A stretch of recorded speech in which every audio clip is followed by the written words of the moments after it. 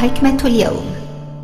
طوبى لمن شغله عيبه عن عيوب الناس. شرح المفردات. طوبى تمني الحسن والخير وأصلها طاب الشيء يطيب طيبا إذا كان لذيذا أو حلالا فهو طيب.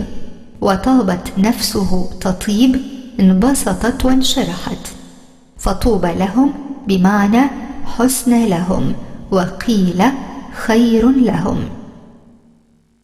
العيب الوصمة وما ينقص من قيمة الأشياء عند تقويمها. المعنى العام للحكمة.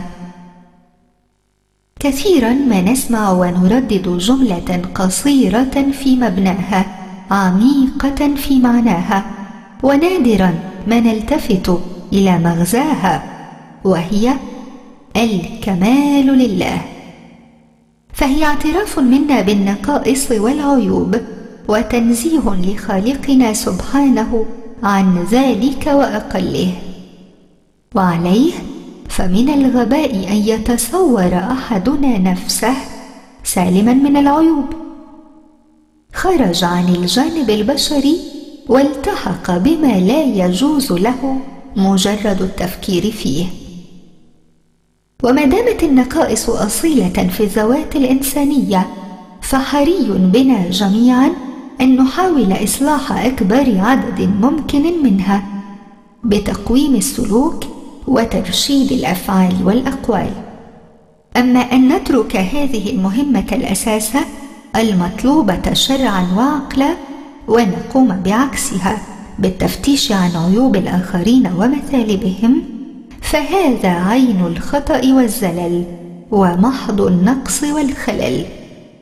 إذ كل واحد منا مأمور بإصلاح نفسه اولا ثم بعد ذلك ينتقل إلى نفوس غيره بالتوجيه والإرشاد وفق الضوابط الشرعية المعروفة.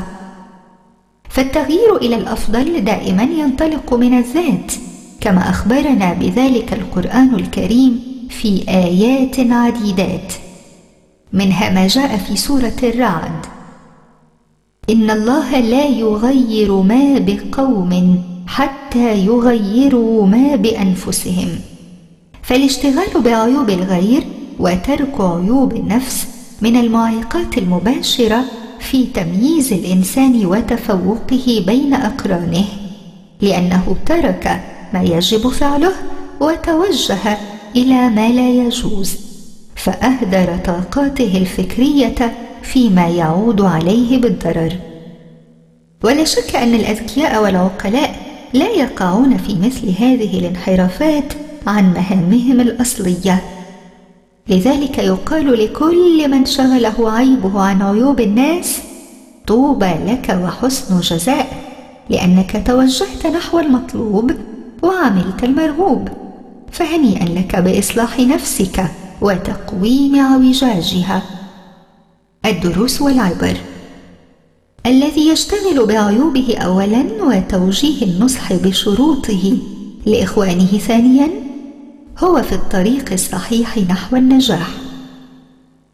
إياك أن تتوهم نفسك استثناء في المثالب والنقائص فما أنت إلا بشر مثل البشر.